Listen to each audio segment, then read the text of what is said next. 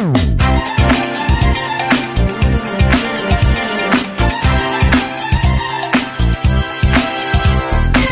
जो है, हम लोग क्या करने वाले हैं? हम लोग कुछ पॉट्स रेडी करने वाले हैं। मैंने कुछ सीड्स मंगाए थे और मैंने कुछ मट्टी मंगाई थी अमेजोन से।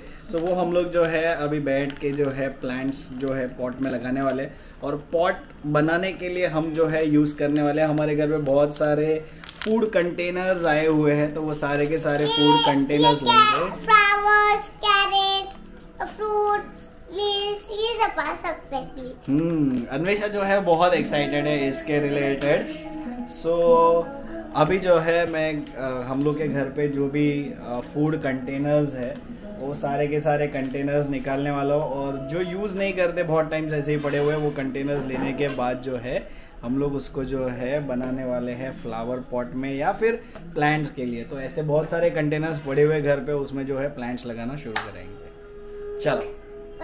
हाँ। सो गाइस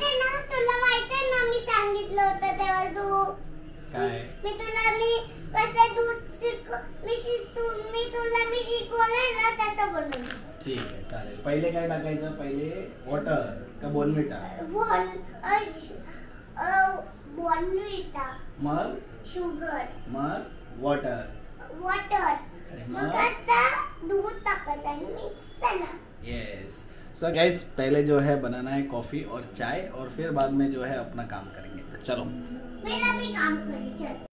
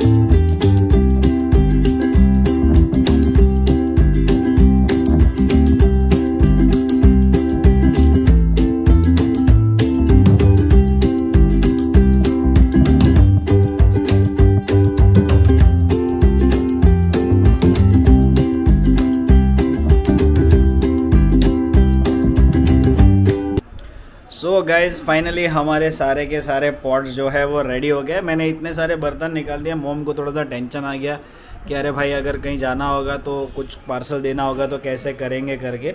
इसके लिए अभी फ़िलहाल के लिए सिर्फ़ और सिर्फ़ आठ ही जो है बर्तन मैंने निकाले अभी जैसे जैसे और आते जाएगा, वैसे वैसे जो है और बनाते जाऊँगा। अब ये जितने भी पॉट्स है, ये सारे के सारे पॉट जो है, मैं ऐसी जगह पे रखने वाला हूँ जहाँ पे धूप भी आ रही है और छाँव भी आ रही है। तो हमारा ये जो पर्टिकुलर पार्ट है, ये काफ़ी अच्छा है।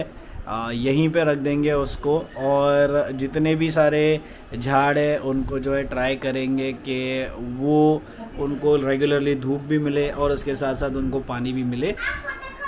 ओवरऑल अगर मैं बात करने जाऊँ तो ये पूरी की पूरी यू नो ये एक एक जर्नी की तरह था, एक मेडिटेशन की तरह था मेरे लिए।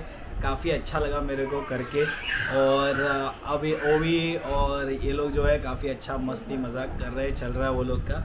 बट uh, मुझे ये करने में बहुत ज़्यादा मज़ा आया। तो मतलब अच्छी बात है एक कुछ चीज़ की स्टार्ट है।